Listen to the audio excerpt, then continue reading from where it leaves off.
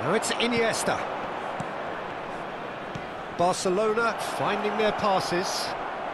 He's gone for goal!